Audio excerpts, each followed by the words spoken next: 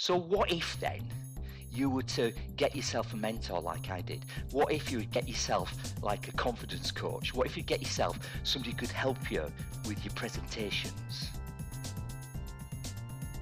What would that do for your confidence? What would that do for your profile? And what would that do for what's in your pocket? 42% of people, right, were afraid, afraid of speaking in public. Here's my top tip. Most people don't take responsibility for how they feel. Most people say it's not to do with me. Difference between a, a great presenter, peak performer, whatever, and somebody who's not so good.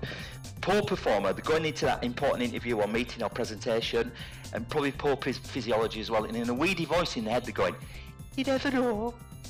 They might like me. They might like this presentation. By the way, if you're doing that out loud, you've no chance. One, two, three.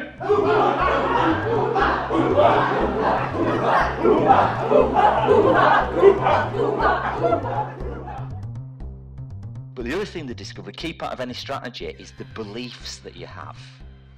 So I just want to share with you a couple of empowering beliefs, or maybe more. So we identify these beliefs that I have that enable me to do what I'm doing now. Because beliefs, you see, the thing about beliefs is this. You know, I'm loath to call it presentation skills, but that's what people are familiar with. But at the Confident Club, we don't really do presentation skills training. We do more like presentation beliefs training. So the idea is that you've got four types of learners, say in a classroom, or four types of people in an audience. You've got why people. I mean, they're interested in this, but the more important is what's in it for me, right up front. They want to know that. So you start your presentation with that. Here's a big reason you need to listen. And he said, I think giving a great speech is like playing jazz. That's like jazz, by the way. It's like playing jazz. It's like you go out, which I've done today, with a tune in mind. But it's okay to go on and twiddly bit now and again. So rehearse better, spontaneous. So give yourself permission to not be perfect. Be a person, not a presenter. What you also need to know is the audience want that too.